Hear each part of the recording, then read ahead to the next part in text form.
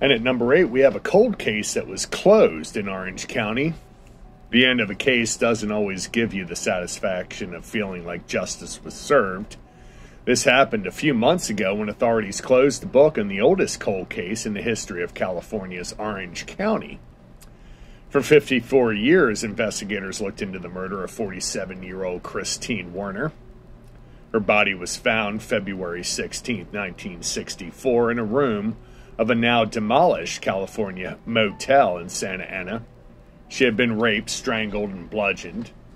The best uh, police had was a bloody handprint on the door, but they only found a match in 2007. Like with many other cold cases, it was a matter of waiting for technology to catch up to the evidence.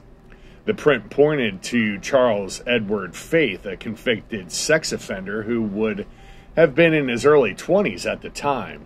Slowly but surely, investigators built a case against Faith.